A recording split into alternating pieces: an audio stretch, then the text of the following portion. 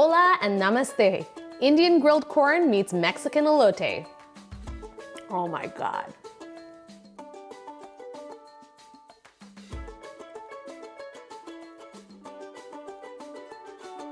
Several years ago when I visited Mexico for the first time, I enjoyed elote. And elote is corn that's covered in mayonnaise, cotija cheese, a little bit of chili powder, and it was so, so good. And I thought, how do I put an Indian spin on this? And this is how Indian elote was born. It's the perfect hybrid between the classic and Indian grilled corn. It's spicy, it's creamy, it's cheesy, it's so good, and I'm gonna show you how to prepare it. So the very first thing that we're gonna do is prep our mayonnaise. So to a bowl, I'm gonna add some mayonnaise, Kashmiri chili powder, amchur, cumin, lime zest and juice, and salt. And I'm gonna mix this all until it's well combined. So I bought some sweet corn from the grocery store. It's already cleaned and ready to go.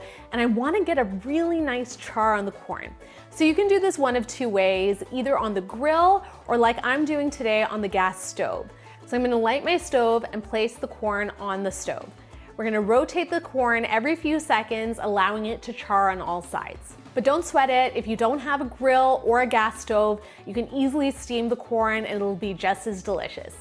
So traditionally, Mexican elote is covered in this salty, milky cheese called cotija. So this is cotija cheese right here. You can often find it at Latin grocery stores, but if you have a hard time finding it, then you can just as easily use some feta that you finely crumbled.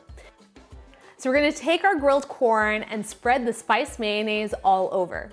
Then I'm gonna take my grated cotija cheese and sprinkle it all over the corn so that it's nice and coated.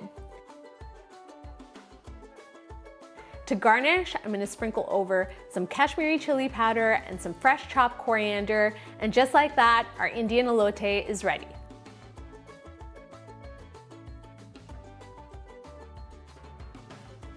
It looks almost too pretty to eat. I love the colors, the white, the reddish orange, and the green, almost representing the Mexican and Indian flags. Let's grab one and go in for the taste, okay?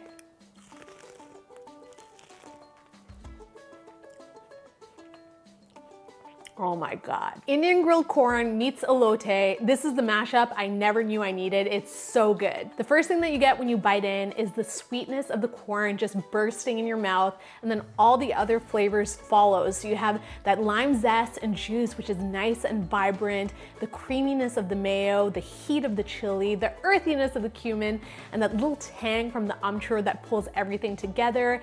And then you have that nice milky, salty cheese that just ties everything up up.